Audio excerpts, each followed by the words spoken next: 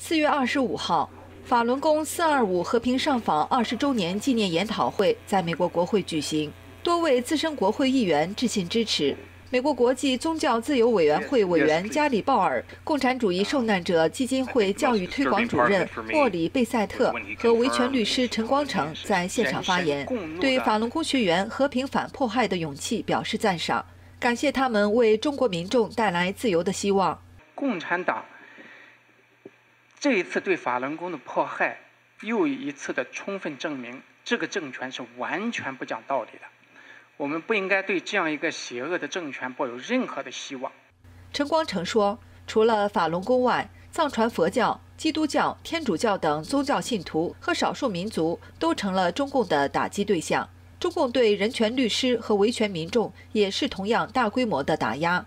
去年五月，被美国总统川普提名为美国国际宗教自由委员会委员的加里·鲍尔说：“这个委员会在成立之初的第一份年度报告中就记录了1999年4月25号的法轮功请愿活动，指出法轮功学员只是希望政府能让他们自由修炼，却不为专制政权所容。”美国国际宗教自由委员会成立于1998年，隶属联邦政府，每年发表报告。监督各国宗教信仰自由状况，并向国务院、白宫和国会提出政策建议。过去二十年，该委员会始终高度关切中共对法轮功的迫害，并一直建议国务院把中国列为严重践踏信仰自由的特别关注国。Twenty years after the Chinese government began its relentless persecution of the Falun Gong, the situation for its followers, indeed for all religious communities in China, is far, far worse than it was 20 years ago. 鲍尔认为，美国当年给予中共永久贸易最惠国待遇是个错误。不但中国没有因此发生令人期待的改变，反而让美国产生了不利改变。而现有的贸易协定对中国人民同样没有好处。I do not believe China can become a great nation, no matter how big its economy or how powerful its military.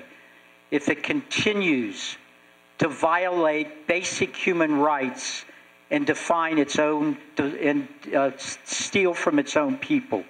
the right to religious liberty. 鲍尔说，他很高兴看到川普总统在跟中共重谈贸易协定，但是中共侵犯人权也不可忽视。Well, stealing technology is very serious, but is it more serious than stealing a human being's right to worship As they see fit. 鲍尔告诉与会者，美国国际宗教自由委员会已经向美国国务院、白宫建议，向中共表达对人权和宗教自由问题的关切。他本人也已经向美国副总统彭斯建议，在美中贸易谈判中提出人权和宗教自由问题。他说，彭斯对此也有同样强烈的感受。鲍尔说。他打算在下周与美国总统川普会面时提出同样的建议。And I can assure you, this is one of the things uh, that I, I will uh, bring up, and, and, I have every reason to believe that uh, he, he will agree with that, and that we will find out eventually that human rights and religious liberty issues, in fact, were being discussed along with uh, these trade questions.